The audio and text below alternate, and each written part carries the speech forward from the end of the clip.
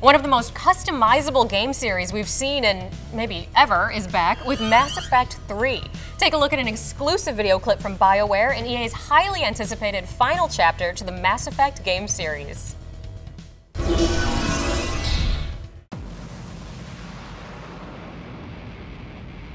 I am here with Casey Hudson, the executive producer of Mass Effect 3. A long time coming, everybody's really excited about this game. Can you tell us a little bit about it?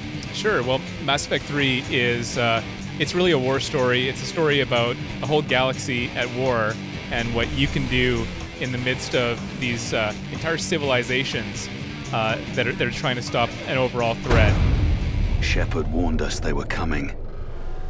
But we didn't listen.